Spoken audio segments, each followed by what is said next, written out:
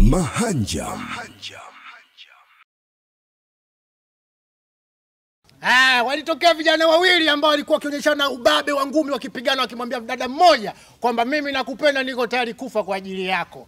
Eh, lakini katikati ya ugomvi wao alitokea mzee mmoja ambaye alifanya nini? Twende kwanza ukaangalia utandawazi afu tukirudi. Ma- ma- ma- Mahanja.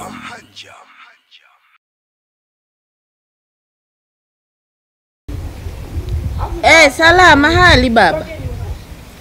Ndiyo, tayari mipango imeshakamilika. Nitakujulisha. Eh, nitakujulisha tu kwa hilo, usijali. Udindili, udindili, ha, umezamia ndani?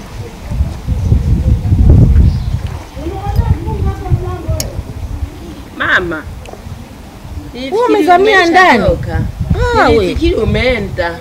Bado wewe unakuwa mzito sana. Huu uzito mwanangu ulionao huu utakuja kuwa shida. Kaa hapa.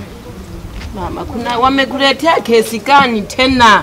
Mimi nimeshaachana nao na nilimwambia nitakupiga hata mshipa wafahamu, naye akaniletea upishi. Ila mama, nimeona niachane na ukompi. Ukompi tutakompana mpaka lini? Sasa sikiliza, hapa nilikuwa naongea na baba yako mkubwa hapa.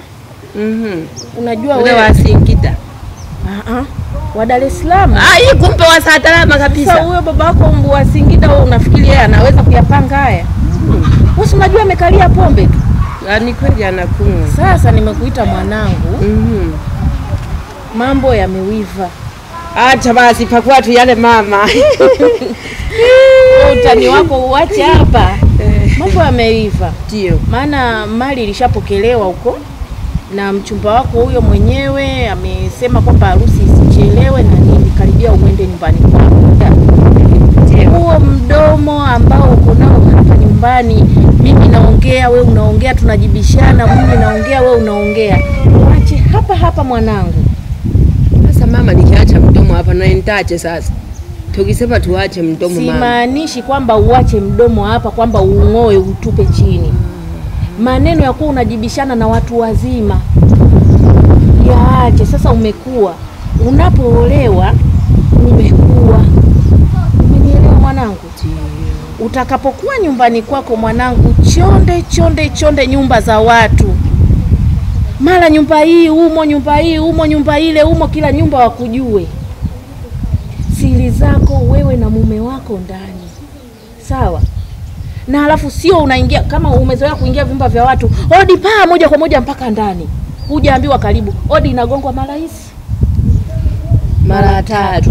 Ah. ya kwanza hodi, Anasema karibu. e, karibu. Au siende. Ya pili hodi tena waumu. Karibu. Ya tatu hodi mpaka ndani, mpaka uambiwe karibu mara tatu ndio uingie ndani. Sawa mwanangu, mm. na sio uende um- mmeo kakuacha huna chochote mwanangu, uone jirani wamepika vimenukia, uende na kibakuli tu unajifanya stori, oh jamani, eh, mmepika vizuri nini? Hapana, Lakini mama, kuna msemo niliusikia wanasema abiria chunga mzigo wako. ndiyo Ah, Mimi mimi siwezi kumchunga mwanaume. Ila nitatili na mzigo wake atakao kuja nao pale nyumbani, akileta samaki mbichi hata akienda mwanangu, wewe, Kiswahili huwa kinakuchenga kweli. Habari za mzigo mi, mizigo kuna mambo mengi sana. Kwenye Ni kama vile mtu anapoambiwa bwana, kila mtu atauchukua mzigo wake mwenyewe, labda huko atakapokufa, atakapoenda, kama ni motoni, peponi, utaenda na mzigo wako. Yani kama ni zambi unaenda nazo, kama ni neema unaenda nazo. Kwa hiyo abiria, chunga mzigo wako, anamaanisha kwamba uchunge kitu ulicho nacho wewe. Kama ni mume, ndio mume wa thamani kwako. Aha. Ndio maana na mwana shetu laka yuko makini kwa hilo mama. Umeona eh? Kumbe unanielewa sasa. Mimi nakwambia kwa sababu bibi yako hayupo, Mimi ndio nimebaki bibi, ndio babu. Ndio. Maneno ambayo natakiwa kukwambia ni mazito, ambayo mimi sikufaa kukwambia.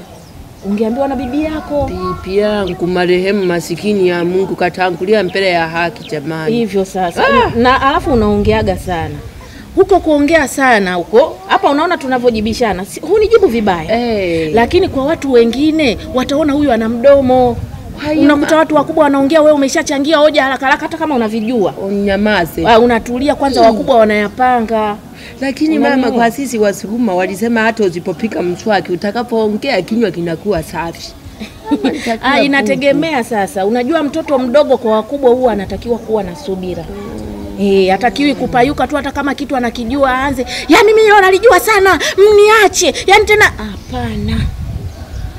Mm, Hapana. Ni kwa utaratibu tunaambia hii jamani, mm, na mimi nilifundishwa hivi, niliambiwa hiki kibaya, hiki kizuri.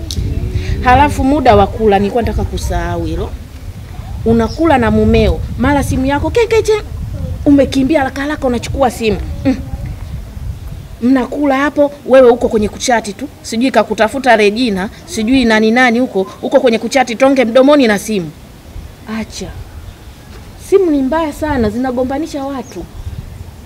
Unapokuwa unakula unadili na mlo Eh, unajua mme wangu kala hapa amemeza, ana mkono ume- ume, umekuwa kuaje, unamsaidia, unamshika mkono, unamlisha. Hii bebe, unapana wewe mpaka kuja kunisamia hayo mambo mliyafanya sana. Eh, unafikiri mpaka kudumu hivi mimi na baba yako ulishasikia? Mm, sijasikia. Sasa mama, mimi yule mchumba kama mnavyojua ni mwenyeji wa Morogoro wa Dodoma. Ndio mwanangu. Na kama unavyojua nyumba za Dodoma zilivyo ni fupi, ni fupi kabisa. Ukikuta silopu mama Mm. ni fupi kabisa. Sasa sijawahi kuingia montani nikajua kwamba kwa ndani ni parefu au pafupi. Sasa nilikuwa na mpango mama, ili kusudi, unajua unasemake natakiwa upunu mpunu yako mwanyawa, ili ndoa yako iwe nyonyoro kabisa. Mimi nilikuwa nimepunu hapo, umeongea maneno mazuri mamangu Sawa kabisa. nikasema kwamba niwe na mpepa mkwijima wako pekani naingia naye mpaka ndani mama Utamweza. tajitahidi sinatumisha ndoa Ila we mtoto wewe. sasa kwa zile nyumba mama nitaweza kweli mama? Ah, ah, nyumba ni yani unapoolewa na mumeo hata kama anaishi kichakani ndio kwake. Umempenda kakupenda mm. yani ndipo mtakapokwenda. So ufike kule ukute wenzako wanaishi gorofani. Oh tuhame hapa hapana sijui nini nini hapa wanafuga bata hapa wanafuga sijui nini um, hapana popote anapokwenda mwenzi wako ndipo. Ila sio akienda kwenye ujambazi na wewe uende. Bebe kushika mashuti mimi naweza mama. Hapana. Alafu pia au awe mfifu wa samaki mama. ngoja nikueleze taratibu. Sawa. hata kama mume wako ni mwizi chonde chonde mwanangu siri yako wewe na mume nje. Hakikisha unamkwepa taratibu lakini habari ya kusema "Oh, mume wangu jana kafika huko kakaba mtu kaleta hiki. Atakumaliza na wewe. Taratibu tu unawaambia wazee jamani eh, mi nimekumbuka nyumbani nikawasalimia wazazi na sio uje kumsingizia. Liwe la kweli. Kucha kwa wazazi. Liwe jambo la kweli. Sawa mwanangu? Kwa hiyo mama mambo mabaya tu ndio uache. Nashukuru sana. Mama umeongea vitu vingi. Mm.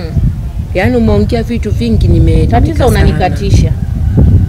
Nguo zako za ndani unapofua. Sio sadaka kule. Kwamba umeanika nje pale kila mtu ameona hii ni rangi gani rangi gani wanakujua kila kitu. Mama ni mpya unakuta imenunuliwa. stop talking. Ninapo ninapokuambia nguo za ndani zako wewe na mumeo unapozianika nje umejianika. Ai! wanakuwa wanajua hii futi ngapi ndivyo alivyo huyu hii futi ngapi ndivyo alivyo hapana anika ndani. Kama unaogopa sijui wataleta sijui fangasi sijui UTI chukua pasi piga vizuri mambo ya- yanaeleweka. Unanielewa? Unanielewa? Nimekuelewa. mwanaume kaja na kitu kidogo hii mke wangu hiki ndicho nilichopata. Eh? sio unasema "Ah, haya haya madagaa haya haya manini mi sijazoea hivyo. Hapana.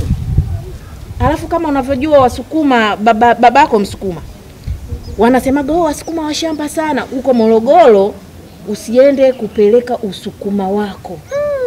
Unanielewa? Sijui unanielewa vizuri. Kukusikia na kusikia Eh, lakini wewe usiende kujifanya mshamba we ni mjanja. Mama unamtukana Ah, papa. naongea hivyo kwa sababu nishasikia wanasema wasukuma wa shamba wasukuma hapana wasukuma ni wajanja sana mwanangu. Mm. kwa hiyo usiende kujifanya we mjinga wakasema ye kweli lisukuma kweli hilo ye tumeliona.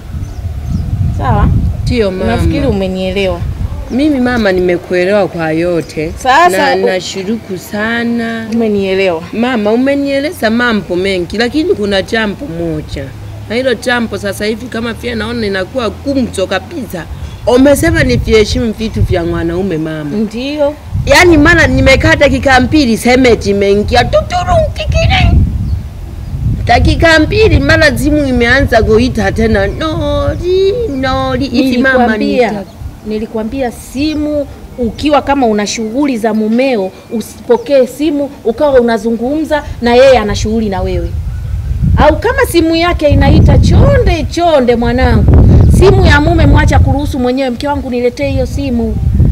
Alafu hata kama unaleta sio haraka haraka tu unaanza kuchunguza nani, ka, nani katuma message.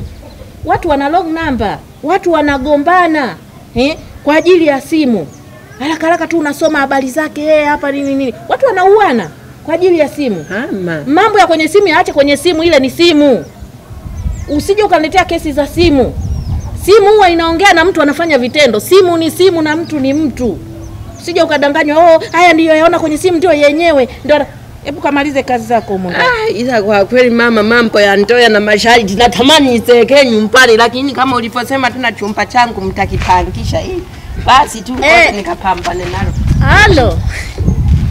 Sawa, tukutane kwenye chama hapo, ndo nilikuwa na- namalizia malizia kuzungumza na mtoto hapa. Yeah. Nimechelewa jamani, nimeisha jiandaa. Ah! Sijui leo utanitolea mchango wangu. Ma- ma- ma- Mahanja.